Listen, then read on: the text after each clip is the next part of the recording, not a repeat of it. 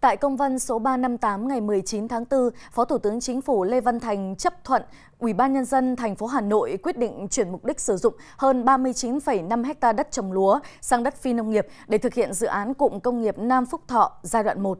Phó Thủ tướng Chính phủ Lê Văn Thành yêu cầu Ủy ban nhân dân thành phố Hà Nội chỉ đạo thực hiện việc chuyển đổi mục đích sử dụng đất trồng lúa nêu trên theo đúng quy định của pháp luật về đất đai và các pháp luật khác có liên quan, chịu trách nhiệm toàn diện trước pháp luật, trước Thủ tướng Chính phủ về quyết định thực hiện dự án và việc tổ chức thực hiện dự án theo quy định của pháp luật đất đai, thực hiện việc giao đất, cho thuê đất, đấu giá quyền sử dụng đất theo đúng quy định của pháp luật, thực hiện dự án bảo đảm đúng thẩm quyền, thực hiện đúng và đầy đủ quy định của pháp luật đất đai cũng như quy định của pháp luật khác liên quan và ý kiến của Bộ Tài nguyên và Môi trường. Bộ Tài nguyên và Môi trường theo dõi và hướng dẫn thực hiện việc chuyển mục đích sử dụng đất trồng lúa nêu trên theo đúng quy định của pháp luật.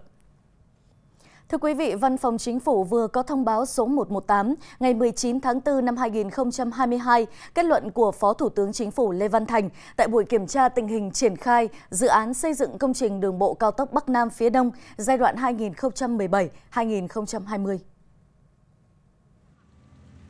Chính phủ đã thông qua mục tiêu trong năm 2022 hoàn thành đưa vào khai thác bốn đoạn Mai Sơn quốc lộ 45, Cam Lộ La Sơn, Vĩnh Hảo Phan Thiết, Phan Thiết Dầu Dây với tổng chiều dài 361 km. Đây là tiền đề rất quan trọng để bảo đảm đến năm 2025 hoàn thành 2.500 km đường bộ cao tốc. Do đó, Phó Thủ tướng Chính phủ Lê Văn Thành yêu cầu các bộ, ngành địa phương và các cơ quan đơn vị liên quan phải tập trung, nỗ lực cao hơn nữa trong thời gian tới để giải quyết triệt đề một cách khách quan, đúng theo quy định pháp luật, quyết tâm hoàn thành mục tiêu này. Bộ Xây dựng phát huy kinh nghiệm lãnh đạo, chỉ đạo, điều hành về quản lý chi phí xây dựng, trong đó có giá vật tư, vật liệu xây dựng, chỉ số giá xây dựng. Tiếp tục phối hợp với Bộ Giao thông Vận tải và các cơ quan liên quan, tổ chức kiểm tra hiện trường, chấn chỉnh kịp thời các đơn vị không thực hiện đúng quy định trong quá trình thực hiện dự án.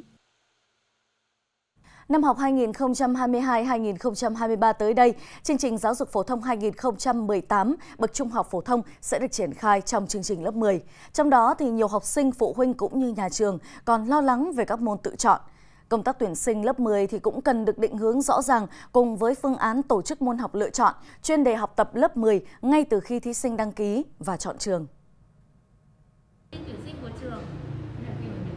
Năm nay các bạn sẽ học chương trình giáo dục phổ thông mới đây ạ. Các bạn sẽ học theo tổ hợp và không học theo phân ban như ngày xưa nữa. Thì đây cũng có 5 môn học bắt buộc gồm toán, văn, anh, giáo dục thể chất và giáo dục quốc phòng ạ. Trong những ngày này, nhiều trường đang tích cực tư vấn cho phụ huynh có con chuẩn bị thi vào lớp 10 về cách lựa chọn môn học cho chương trình học mới. Nhưng điều này mới chỉ đang thực hiện ở các trường ngoài công lập. Rõ ràng từng nhà trường, từng cơ sở giáo dục phải uh, có cái phổ biến Ờ, truyền uh, truyền tải thông tin uh, một cách rõ ràng cụ thể về chương trình giáo dục phổ thông mới để cha mẹ học sinh và các em học sinh uh, hiểu và chia sẻ những cái thuận những cái thuận lợi những cái khó khăn những cái được của chương trình.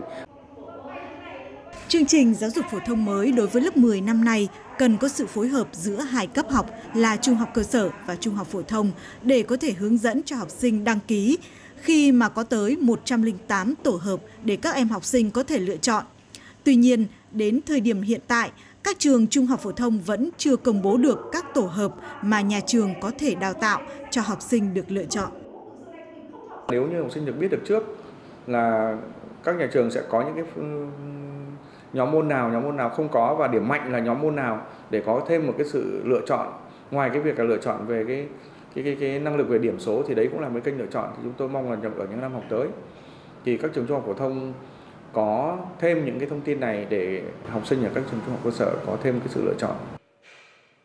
Tuyển sinh cho chương trình mới nhưng lại được thực hiện theo phương thức lối mòn cũ. Học sinh chưa được hướng dẫn về cách đăng ký và thông tin của từng trường trong tuyển sinh cũng đang là lo lắng, chăn trở của nhiều chuyên gia.